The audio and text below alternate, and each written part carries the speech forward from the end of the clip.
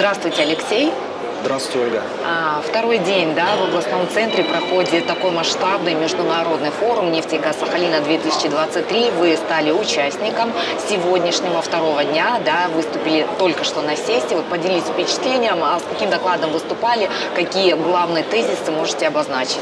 А, ну, прежде всего, я хотел бы сказать о том, что данный форум а, действительно является крупнейшей профессиональной площадкой для обсуждения наиболее актуальных проблем энергетической отрасли и отрадно видеть, что из года в год, э, во-первых, с одной стороны, повышается э, уровень проведения самого мероприятия, а во-вторых, те проблемы, которые обсуждались ранее, э, мы видим их осязаемое практическое воплощение на территории Сахалинской области в контексте реализации тех или иных энергетических промышленных проектов. А, например?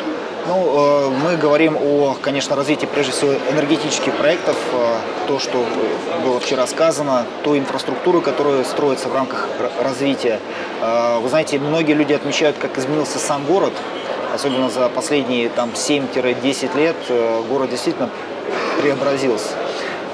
Практически все вспоминали тот прекрасный аэропорт, который встречал всех гостей форума, и примеров очень много. То есть э, наглядно развитие не только, скажем так, промышленное, профессиональное, но и на уровне восприятия вот человеком, когда он приезжает в Южно-Сахалинск, э, на лицо хорошее расцвел. расцвел развитие, да. Поэтому с большим удовольствием лично я, и уверен, и все другие гости приезжают э, на остров. Это действительно такой центр притяжения Э, обладающий магической силой для многих людей, которые когда-либо здесь очутились впервые. Поэтому, конечно, само мероприятие, э, как я уже сказал, является одним из крупнейших и одним из самых авторитетных, наверное, не только на Дальнем Востоке, но и в сфере энергетики в целом. Потому что есть возможность э, обменяться мнениями с коллегами, услышать позицию органов государственной власти, познакомиться с представителями проектных институтов, сверить часы, что называется, с коллегами и узнать в целом актуальные тренды развития отрасли в целом. Поэтому большое спасибо за приглашение, с большим удовольствием принимаю участие. А, мой сегодняшний доклад был посвящен а, Институту нефтегазовых технологических инициатив. Это новая, относительно новая организация, которая была создана в 2020 году. Сначала по инициативе а, четырех энергетических компаний «Газпрома», «Газпромнефти», Татнефти и Сибура. И сегодня объединяет 21 э, компанию, 13 э, из России и 8 зарубежных. И это число э, постоянно увеличивается, в том числе увеличивается количество учредителей, которые переходят из состава наблюдателей в состав учредителей. Хотел бы отметить особо, что деятельность института направлена на скорейшее достижение технологического суверенитета в энергетической отрасли. Сегодня руководством страны поставлена задача по переходу от иностранных систем стандартизации и сертификации в нефтегазовой и нефтехимической промышленности к отечественным системам. А, институт э, заинтересован в сотрудничестве с предприятиями, с производителями оборудования, в том числе из Сахалинской области, которые способны а, к написанию стандартов. Мы предлагаем э, коллегам принять участие в этой работе, в хорошем смысле слова стать законодателем моды э, в вопросах стандартизации, поскольку сегодня э, мы, по сути дела, работаем над созданием аналога API, American Petroleum Institute, это общепризнанный сертифицирующий орган во всем мире, который, к сожалению, сегодня либо не выдает российским производителям сертификаты, либо даже отзывает. есть и такие случаи.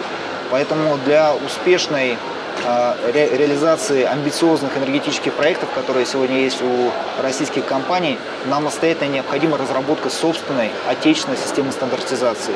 Это большая кропотливая работа, которая ведется совместно, как я уже отметил, с энергетическими компаниями. Причем очень важно, что это не только компании из России, так и с проектными институтами, скажем так, в широком диалоге с профессиональным и отраслевым сообществом.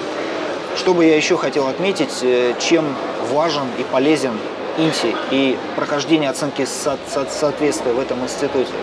А, получив однажды оценку соответствия, а, иными словами, документ, в некоторых компаниях он называется сертификат, существует возможность бесшовной работы не только со всеми энергетическими компаниями в России без необходимости повторного подтверждения опытно-промышленных испытаний, подтверждения качества и надежности оборудования. Но и существует возможность выхода на высокотехнологичный энергетический рынок Ближнего Востока, э, рынки стран э, СНГ. Э, есть такое, на мой взгляд, яркое сравнение, что такое единый стандарт. Это как единая зарядка для телефона, которая подходит ко всем моделям. Вот если спроецировать эту логику на написание стандартов в нефтегазовой сфере, необходимо создать лучшие стандарты, которые будут базироваться на лучших практиках. Действительно, у нас есть накопленная инженерная база в стране, это наши ГОСТы, есть э, стандарты API, American Petroleum Institute, которые необходимо переосмыслить, переработать, что называется, дополнить нюансами российского производства.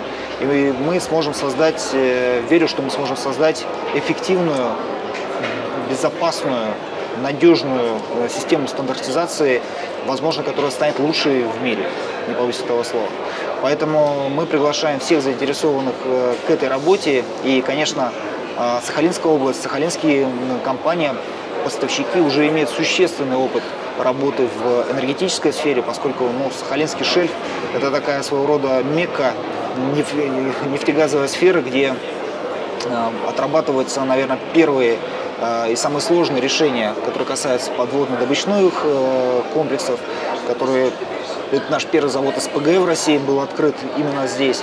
Поэтому предприятия Сахалинской области, Дальнего Востока в целом обладают уникальными компетенциями, которые могут быть очень э, востребованы именно в контексте развития отечественной системы стандартизации. И выступая сегодня на э, сессии, я как раз приглашал всех заинтересованных э, к такой совместной работе.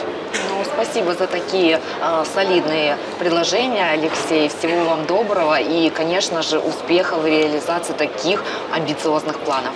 Спасибо, Ольга. До новых встреч.